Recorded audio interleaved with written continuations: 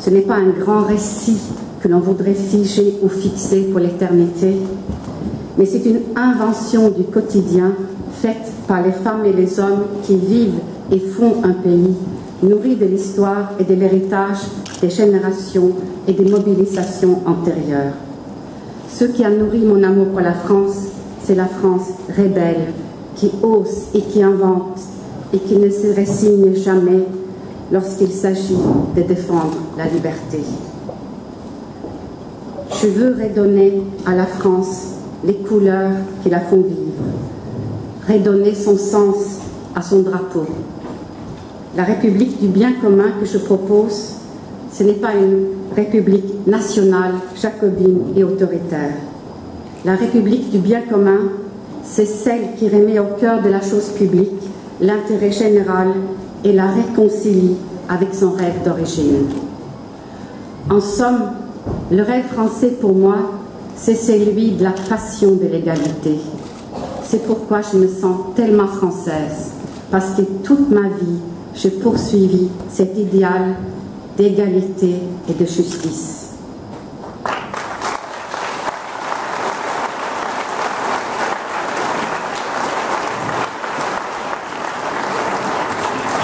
L'égalité, c'est l'effort continu vers le bon pour chacun et le meilleur pour tous. L'égalité, c'est la pierre de voûte de l'édifice républicain. L'égalité forme avec ses inséparables jumelles la liberté et la fraternité, la plus belle devise du monde. Les trois couleurs de la France pour moi, c'est la liberté, l'égalité et la fraternité. Alors que j'exerçais le métier de juge, j'ai compris que l'égalité, cette promesse de justice, n'était pas seulement la boussole qui indiquait le chemin, mais qu'elle pouvait être elle-même le chemin. Pourtant, sous mes yeux, j'ai vu notre pays reculer, se résigner, voire renoncer. La même loi pour tous est parfois devenue la loi du plus fort mais aussi, trop souvent, nous avons renoncé face à cette promesse, préférant fermer les yeux sur le fossé qui se creuse. Peu à peu, la même chance pour toutes et tous est devenue la défense des privilèges et des acquis. Au pays de l'égalité, ce sont les inégalités et les discriminations qui prospèrent aujourd'hui.